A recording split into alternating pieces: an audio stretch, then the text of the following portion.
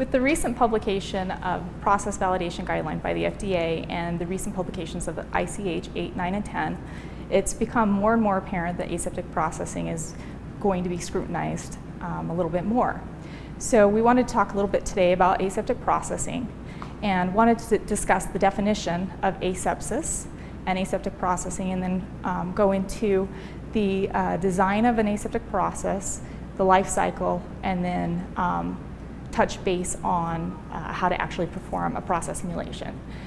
So asepsis is essentially the elimination or prevention of contamination into a process or, or product. Um, it was essentially uh, first uh, used in operation rooms and hospital settings. The definition of aseptic process can be defined by breaking down into asepsis, which is the elimination of uh, contaminants from entering a sterile field. Uh, the goal is to eliminate the contaminants, but not, not necessarily sterility. Two sterile, multiple sterile components going into a controlled environment and essentially coming together to manufacture, in the end, a sterile manufactured product. The FDA recommends that if your pro product can be sterilized terminally, that that is the best method for your product. Whereas with aseptic processing, you're usually working with some sort of substance that cannot be sterilized terminally, such as some sort of cell-based product or products that can be sterilized in different means but have to come together in the end. That is when you would use an aseptic process over a terminal sterilization. So some upfront considerations that you should consider when designing an aseptic process is your facility design. You want to make sure that the facility is appropriate, uh, that you have the appropriate room space and the, and the appropriate design of the manufacturing area. You also want to take a look at your manufacturing layout and how the materials are going to move in and out of the room with the, with the manufacturing layout, you also want to consider the environment of your layout and what your classification of your environment is going to be. You might want to consider isolators or dividers in your environment, which then you would have to do a risk assessment to assess the, the risk of other environments outside of those environments. So you want to take that into consideration and do your risk assessment based on that. Uh, some other upfront considerations that you may want to do are also your personnel. You want to have trained personnel you also want to train them on their gowning procedures and have uh, very thorough documentation of your procedures and they need to be well understood by, their person, by your personnel. Materials uh, consideration should also be part of what you're assessing.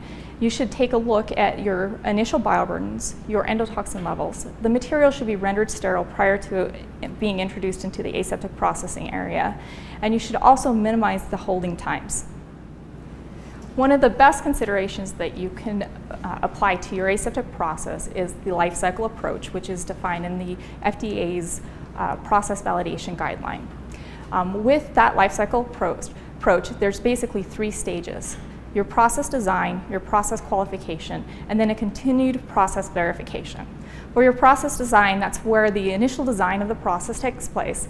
It's where learning and knowledge is gained, and you're using a risk assessment to uh, assess the risks prior to implementing the, the, the, process. In your process qualification, you're essentially uh, implementing what you designed in your process design and making sure that that works. And then your continued process verification is an additional step in which you continually make sure that you have a state of control in your manufacturing site through constant verification and validation of your process. During the process simulation of your aseptic process, you want to take into consideration the media type that you're using. You want to make sure that the media provides the appropriate nutrients to provide growth to a small number of organisms. In addition to that, if you're using a surrogate rather than media, you want to make sure that the surrogate does not inhibit any growth of your, the organisms as well. You also want to consider the conditions of your simulated process. You want to take a look at the maximum hold times, the different vial sizes that your manufacturing process may see. And you also want to look at the interventions that may take place, such as if a vial falls or, or there's breakage that occurs on the line. Uh, in addition to that, you also want to monitor your environment during the process simulation. At the end of your process simulation, your, the vials should be swirled and agitated, even inverted, so that the media comes in contact with the entire surface of the vial.